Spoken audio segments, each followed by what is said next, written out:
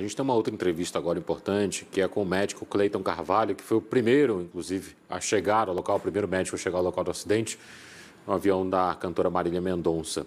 Doutor Cleiton, uma boa tarde para o senhor, obrigado por nos atender. Eh, o que, que o senhor observou quando o senhor chegou àquele cenário ali assustador? É, Ô Pablo, primeiramente, boa tarde, boa tarde, Andressa. É, realmente, realmente é assustador. É, nós recebemos essa, essa chamada, saímos sem saber de quem se tratava e, e não, se não era da, da, da, cantora Marília Mendonça. E ao chegar no local, deparamos com, com todo o ocorrido, né? E, e assim, é uma coisa assustadora até para nós mesmos que, que, que atendemos, que trabalhamos, que estamos acostumados para isso. E quando cheguei ao local, é um local de bastante é, é, dificuldade, de, de, muito difícil acesso.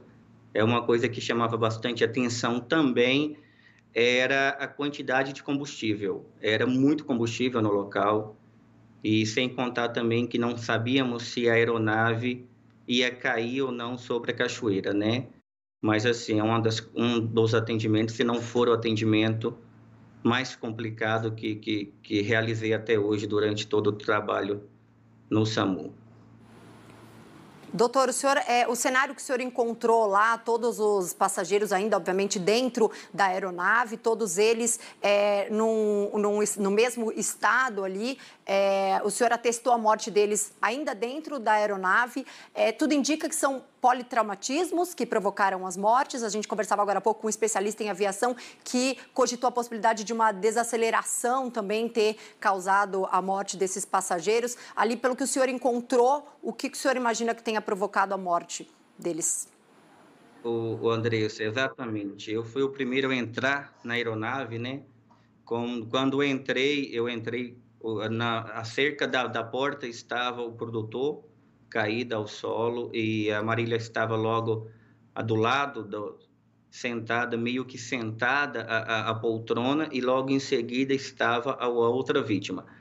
Prontamente atendi, verifiquei todos todos os sinais vitais para ver se tinha tinha é, se contava com vida que essa era a nossa esperança né era, era só isso que nós queríamos naquele momento, era só isso que queríamos que, que tivéssemos, mas assim, é, provavelmente a, a, a causa da morte realmente foi politraumatismo. Não se sabe a nave, então assim, se estavam de cintos ou não, é, eu não sei afirmar para o senhor se esse cinto se rompeu durante a queda, se esse cinto se rompeu durante algum momento. Então, assim, durante o atendimento, quando nós estávamos é, retirando a, os corpos, não se observava cinto, mas também não posso afirmar para o Senhor se realmente estava ou não. Os corpos estavam, é, infelizmente, no meio da aeronave mesmo, assim, os três e mais adiante os dois pilotos, né, que também estava sem, sem, sem sinais vitais, estava sem vida.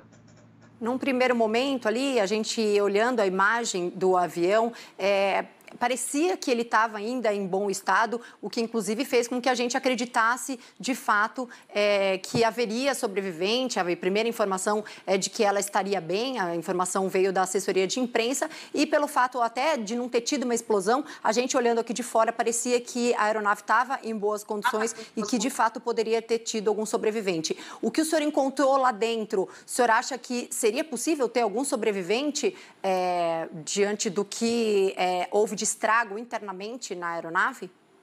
O Andressa, é, como mesmo a senhora disse, de antemão, para quem visualizava o local, por um local ser um local de bastante e, e difícil acesso, é realmente a aeronave, nós estamos acostumados com acidente de aeronave, que, que a aeronave toda é, se deflagra, se quebra, né?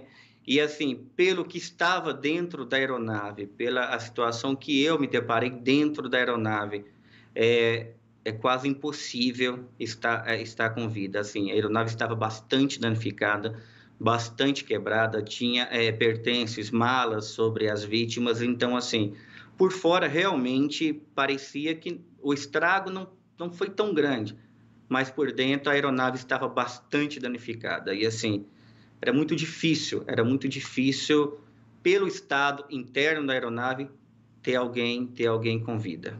O seu setor que está acostumado a fazer resgates em, em acidentes aéreos e tudo mais. E há testemunhas que dizem que a causa foi realmente bater ali na, na, fiação, na rede elétrica, o que já havia sido alertado por outros pilotos. É o primeiro acidente do tipo do qual o senhor trabalha, de aeronave que bate na rede de alta tensão? É, exatamente. E assim, é, esse é o primeiro atendimento por essa suspeita de acidente e não sabíamos até então, foi a primeira pergunta que eu fiz para, para o pessoal do, do Corpo de Bombeiro. A assassina está segura? Tem algum problema? Porque o medo, não sabíamos qual era a causa. Depois que começaram a falar que poderia ser a rede, não sabíamos se esse avião se estava, se estava com, com rede elétrica ou não.